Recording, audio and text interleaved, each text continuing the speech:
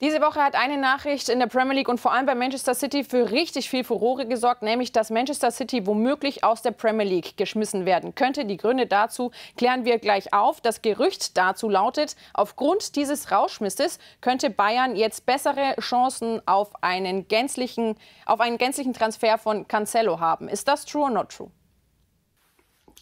Das ist true. Ja, über 100 Verstöße wurden der Premier League gemeldet. Manchester City muss um die Zugehörigkeit der obersten englischen Liga bangen. Sollten sich wirklich diese Vorwürfe bestätigen, dann droht ein Ausschluss oder ein Zwangsabstieg, zumindest in die zweite Liga. Und dann ist die große Frage, was passiert mit den Spielern, was passiert mit den Stars? Sind ihre Verträge noch für die anderen Ligen gültig oder wollen sie dort überhaupt spielen?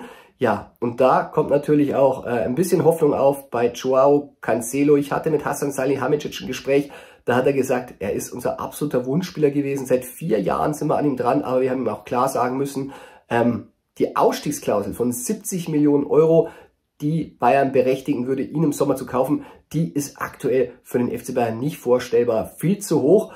Allerdings sollte natürlich äh, City die Premier League Zugehörigkeit verlieren, besteht da natürlich großer Verhandlungsspielraum und macht natürlich den Bayern-Fans ein bisschen Hoffnung, dass das Traummärchen mit Cancelo, der ist ja wirklich kostenlos bisher zum FC Bayern gekommen, äh, noch wahr werden könnte und er wird vielleicht nochmal entschieden billiger.